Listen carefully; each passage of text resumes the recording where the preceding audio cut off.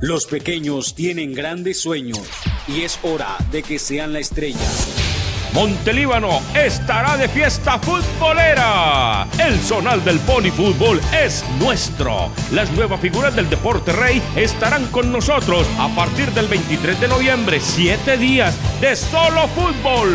Toda la costa norte reunida para buscar un cupo a la ciudad de Medellín. Organiza Alcaldía Municipal de Montelíbano.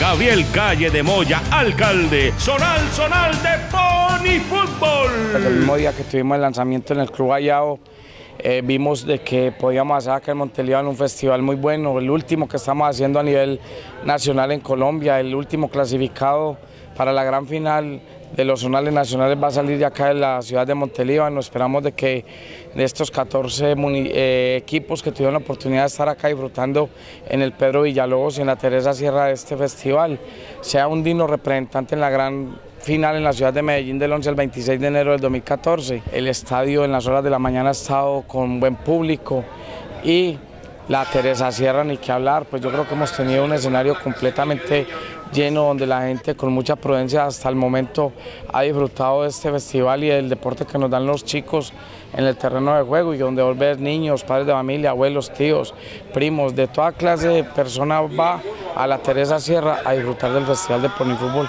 que como les dije, en el momento estamos dando un parte muy positivo, un balance muy bueno de lo que hemos hecho.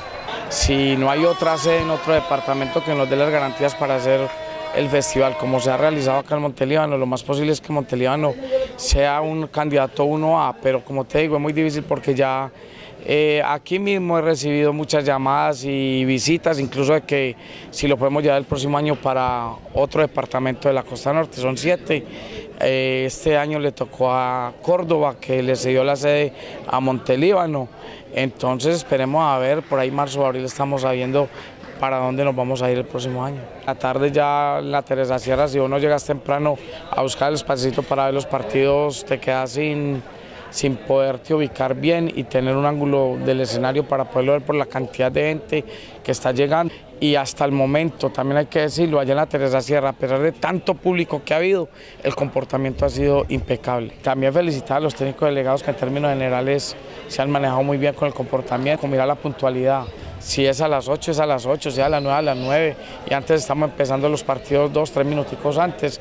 Y en eso también hay que mirar la labor de los niños, los técnicos y los jueces. Entonces yo creo que todos los equipos están muy contentos, incluso no solo de la parte de acá de, de Montelíbano, sino que la gente de afuera ha dado unos conceptos muy positivos, muy buenos sobre el trato que hemos recibido aquí en Montelíbano. Mira, eh, la ambulancia, el hospital, Policía Nacional, Defensa Civil, la gente del transporte que ha estado atenta, eh, que yo creo que es un valor adicional que se le ha dado al zonal, no era la obligación, pero acá Domingo ha estado 100% entregado para que los niños tengan la comodidad en un bus, que yo creo que muchos niños no han llegado a montar en los buses y son felices y hablan de lo, que, de lo bien que los han tratado acá.